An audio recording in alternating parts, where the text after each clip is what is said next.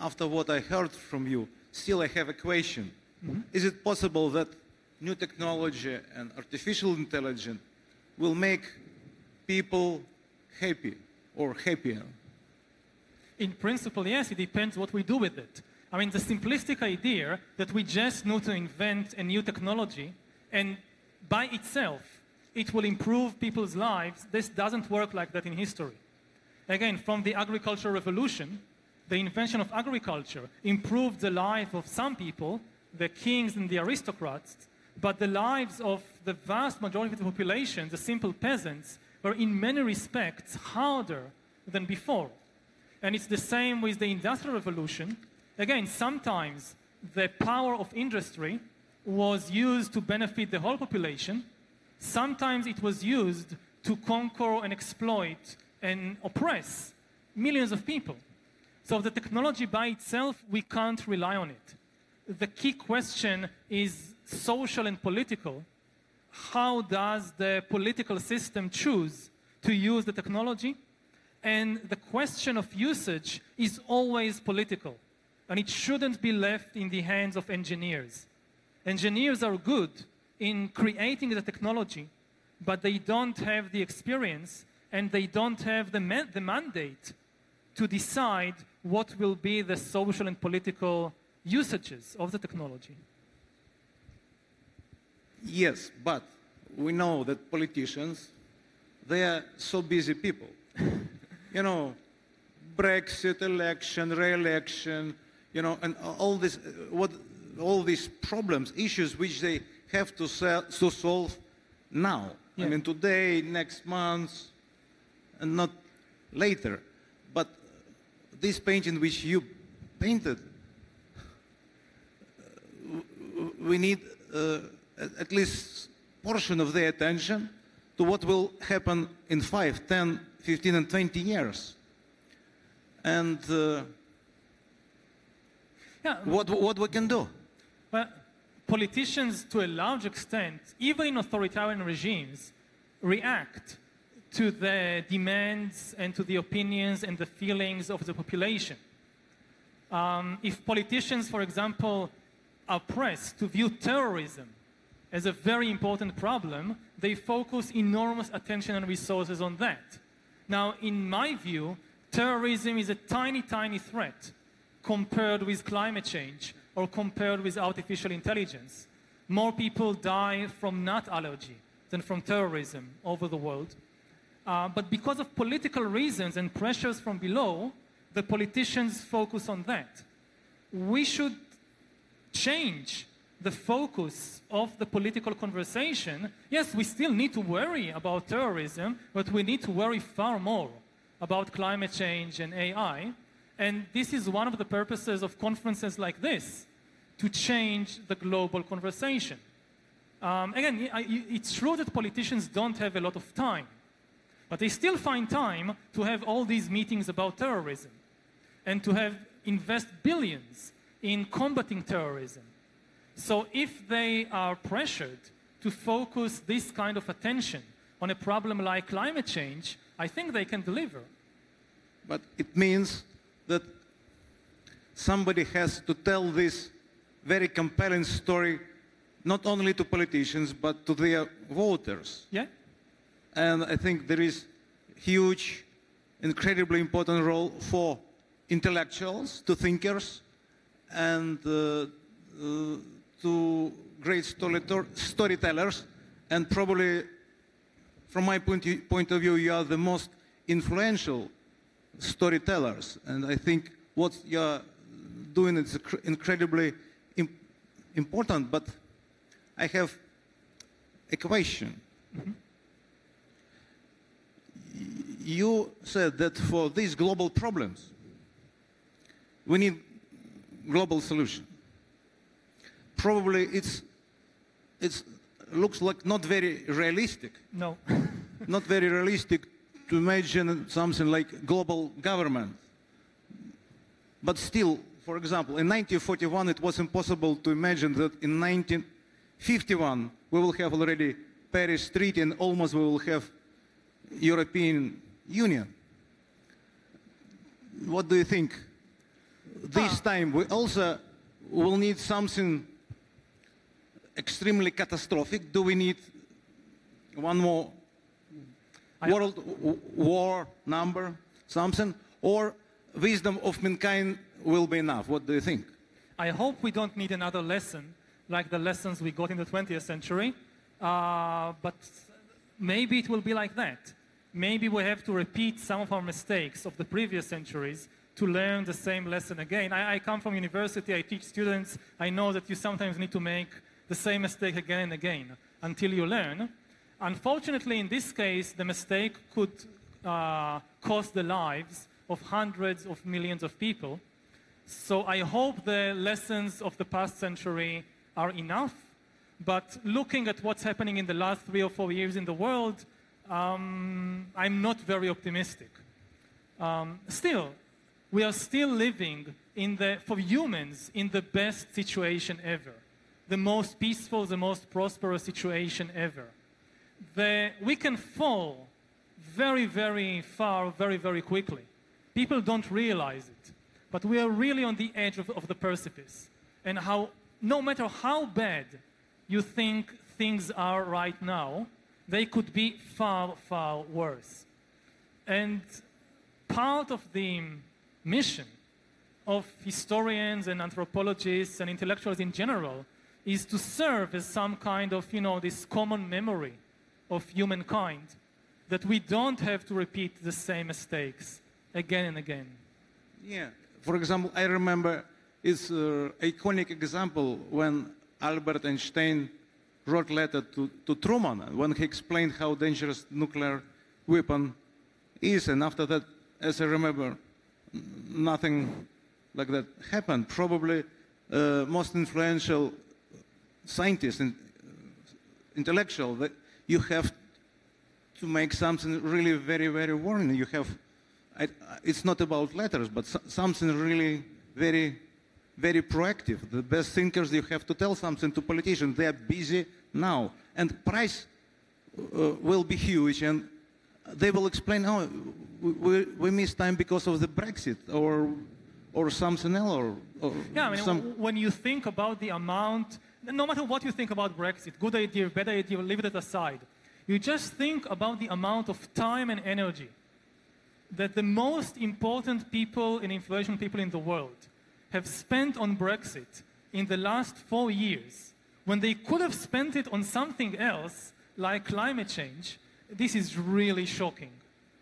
So, again, it's not, it's not that the, the idea in itself is bad, it's the opportunity cost.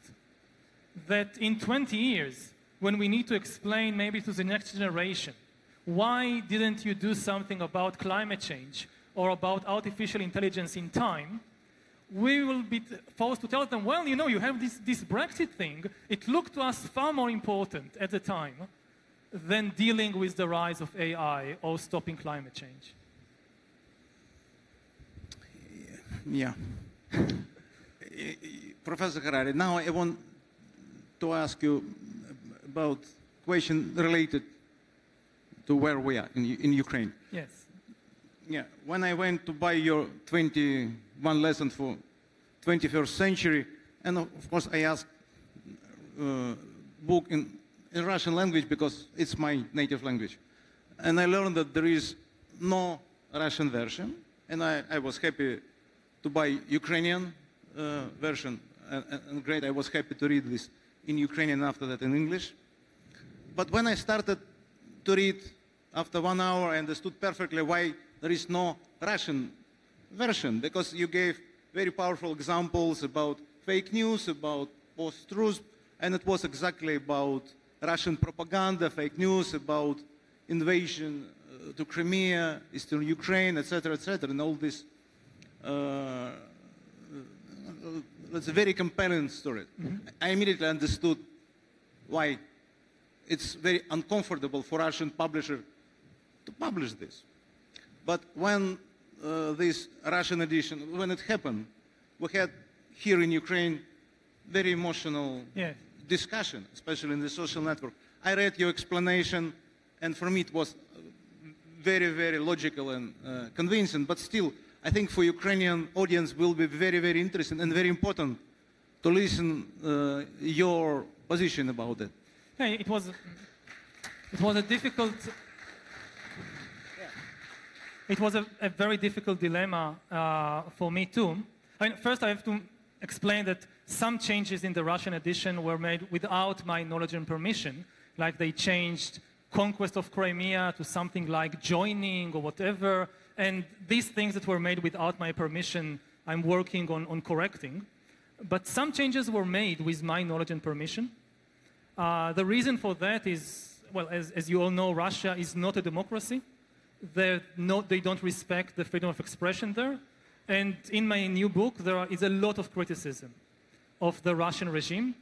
And I was told that really, I, um, if I, they won't allow to publish and distribute this book, and if I try, it could jeopardize my publishers and distributors. So I had this really dilemma, two options, to agree to change some things and be able to publish and reach the Russian audience, or not to change anything and not to publish the book at all. And I respect the people who say that in this situation, it's best not to publish at all. But I think it's an extreme and somewhat unhelpful position because um, actually this is what the Russian regime wants more than anything else that such books will not be published at all. Especially because the book, you know, the book is really not about Ukraine or Russia or Crimea. It's mostly about these issues of climate change and AI and the threat of digital dictatorships and so forth. And it's very important to have the Russian people in this conversation. It's a global conversation. If you exclude people who live in undemocratic societies from the conversation, it won't be global. So I agreed to make some compromises in order to reach the Russian audience. Now, my rule is I don't agree to anything. My rule is that I'm not willing to write any lies. I'm not willing to add any praise to the regime. And I'm not willing to change my key ideas. But sometimes I'm am willing to change the examples that I use to explain the ideas because you can explain the same idea with different examples. And even after the changes in the book, which amount to less than 1% of the book, uh, the book is still very critical of the Russian regime and of its ideology. And um, I, I, for, for, me, this was the most important thing. Now, again, some people may not agree, and I, I agree. It's a, it's a difficult dilemma. It's a choice between two bad options. Um, and part of what I'm doing now in Ukraine is talk with people about it, people who know the situation much better than me, and to get a better understanding and uh, perhaps change my decision. It's not. Uh... I just want to confirm that I completely supportive. I agree with your decision. It was very important to publish uh, this book for Russian audience, and that was the only way. I understand this. I want to continue uh, a little bit about uh, this Russian and Ukrainian mm -hmm. situation, Russian-Ukrainian conflict. And I, I, think, from my point of view, we can think about this from point of view of fight, battle of, let's say, two stories. One is uh, imperial, totalitarian Russian story, also is story about Ukraine, their view that we are artificial state, etc., etc.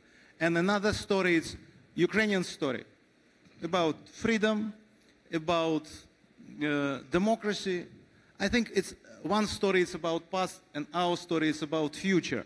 But this is my mm -hmm. way to think about this. But uh, and, and, this is that's why we are under attack because our story is very inspirational and infectious, also for all region, including Russia, especially young generation. Mm-hmm. Can you comment on yes, this? Um, I'm not an expert on Russia or Ukraine. One of the reasons when you invited me half a year ago to come here, so one of the reasons I, I accepted is because I really wanted to come and visit Ukraine in person because it's one of the most important places in the world right now.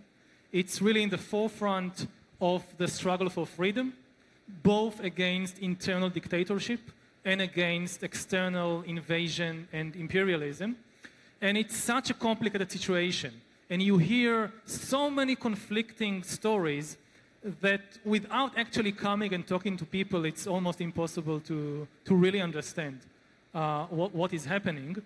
And yes, there is this, this clash of narratives. And the reason that the, maybe the eyes of, of the whole world are now focused on Ukraine is because the story of liberal democracy, which, you know, 10, 20 years ago seemed to be like invincible, like the wave of the future, over the last three or four years, it's been in decline. People losing faith in this story and thinking that that's the end of, of liberal democracy. The future belongs again to authoritarian regimes. And Ukraine is like a spot of light where people still have faith in the values of, of freedom and of openness. And that's why everybody's looking what will it succeed? If it succeeds in Ukraine, it will spread to other places. And I think that one of the dynamics between Russia and Ukraine now is that if Ukraine succeeds, it will make an enormous difference to Russia also. Because the Russians will say, hey, if they can do it, why can't us? And this actually makes it very difficult, the situation of Ukraine, because it implies that it has a very powerful neighboring regime that actually wants it to fail, which is quite rare in the world. In many cases around the world, neighbors are indifferent to each other. Or they want their neighbors to succeed, or they are indifferent, but they don't want their neighbors to actually fail. Like the US and Mexico.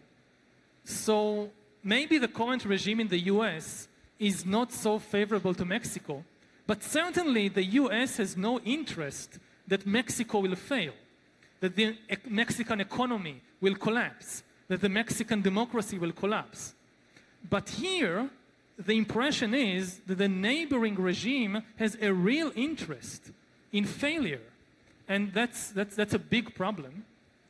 What I would say, again, I'm not an expert on, on Ukraine, but what I would say as a historian is that Ukrainians should free themselves from this deterministic thinking that the past dictates the future, which is very common in authoritarian and backward looking regimes.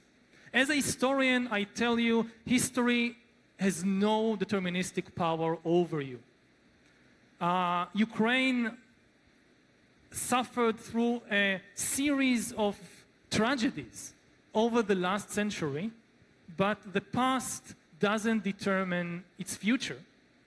And I think maybe the best example to think about is Germany, that also in 1945, many people said there is something about the German nature or German culture or German history that simply makes it impossible to build a liberal democracy in Germany. History is against it.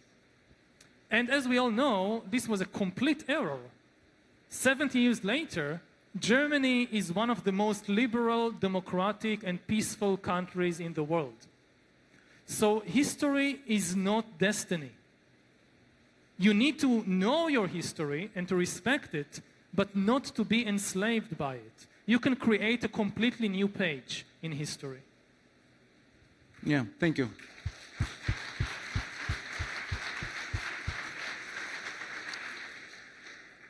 In your books, you, you explained that in 20th century uh, we had three main stories, uh, communism, fascism, and liberal story. And now, unfortunately, we don't have any story. Mm -hmm. And this is a big problem. And uh, I said that uh, this, your uh, story about global governance or global cooperation, it, for solving global problems, mm -hmm. it has chance to become really, really next very big story. And for me, frankly speaking, it will be not big surprise if uh, fourth really big story will come from Yerushalayim. yes, and uh, but my question is, uh, what do you think from this point of view about importance of global cooperation? What do you think about future of the great story, future of European Union? Mm -hmm.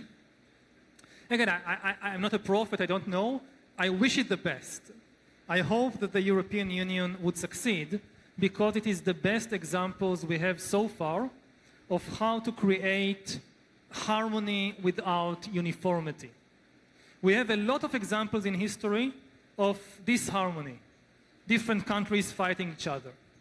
We have a lot of examples of harmony being achieved by imposing a single government, a single empire on, on everybody.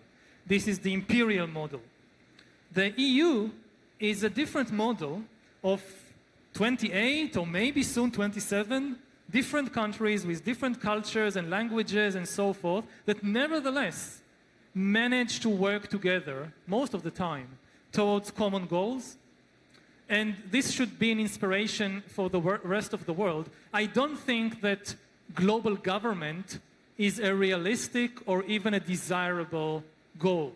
It won't happen anytime soon unless it's an empire. Our goal should be that yes, we still have all over the world 200 independent nations, but they are still able to cooperate in key areas uh, to confront our common challenges. And I would say maybe that um, a good institution to emulate is not just the EU, it's the World Football Cup. That if you think about the World Football Cup, it's really amazing.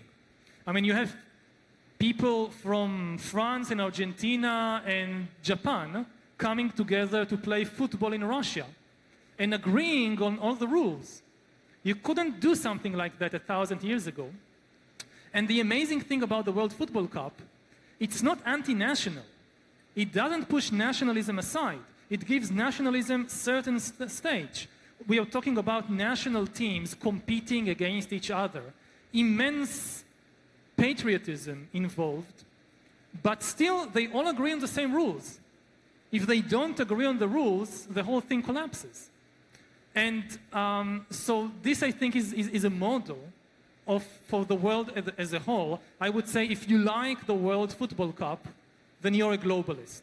Because that's, I know that there are some people who say, oh, globalists are people who believe that we should abolish all nations and we should flood Europe with tens of millions of immigrants and destroy all local culture. But that's nonsense. That's not, not, not globalism. If you want to see globalism in action, look at the World Football Cup. That's, that's a much better view or, or, or, or vision.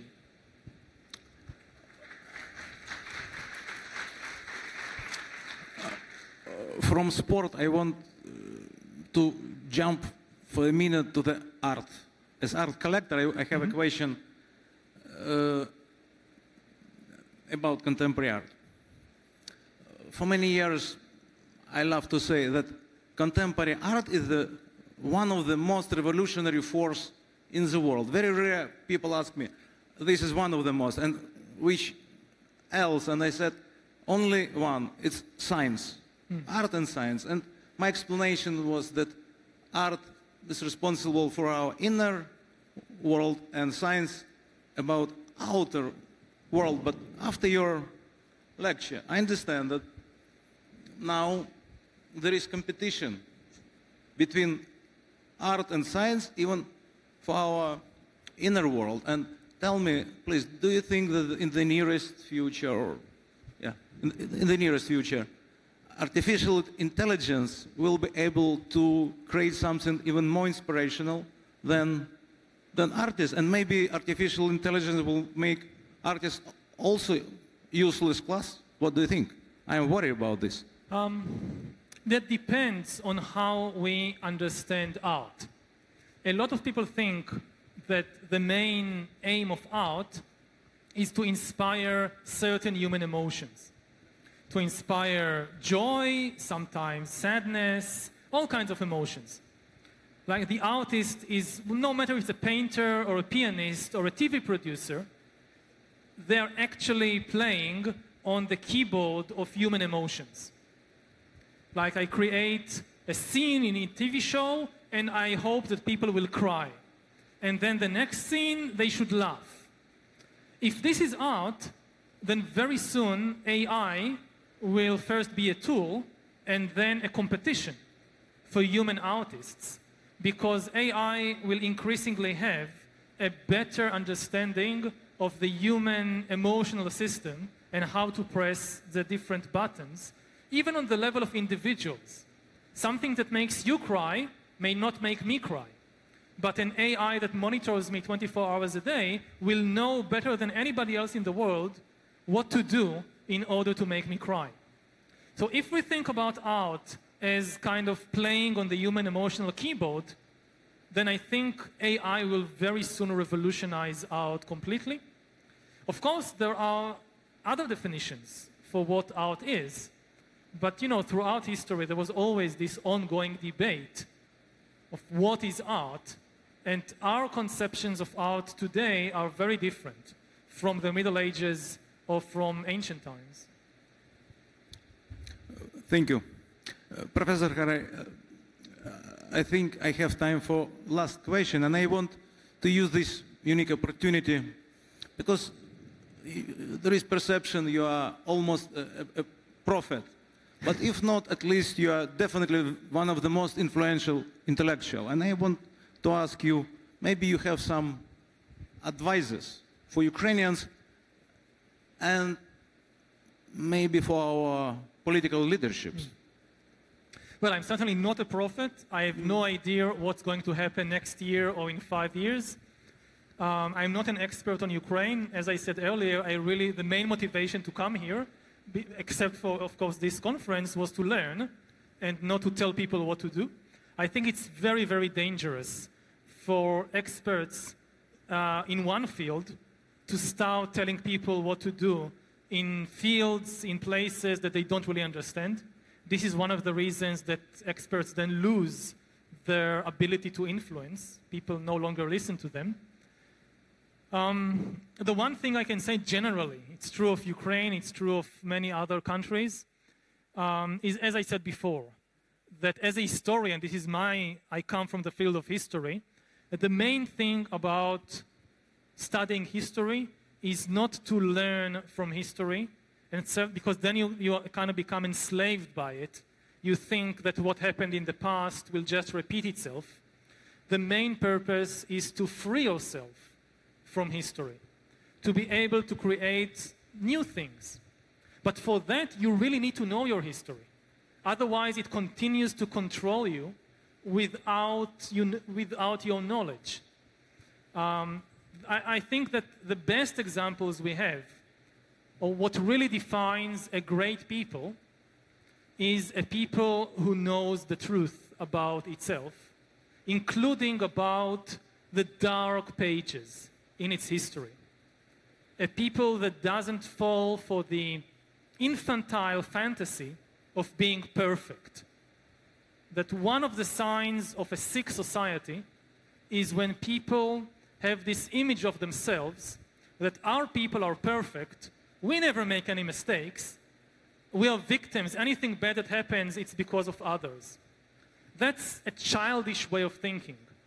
And just as individuals grow up and realize that they are not perfect as individuals and they need a better understanding of their weaknesses and dark sides, and this enables real progress. It's also the same for entire nations. And what I see now is that Ukraine is really doing exactly this process, and I hope it will continue and succeed. Thank you very much, Professor Harari. Uh, now, Thank you. Now, my, my, my time with Professor Harari, unfortunately, for me finished, but uh, uh, I, I want to invite on this stage next moderator, President of Estonia, Kersti Kaljulaid. And you will speak with Professor Harari about rule of law. Thank you very much, Professor. For Thank me, you. it was a great honor. Thank you. Mm.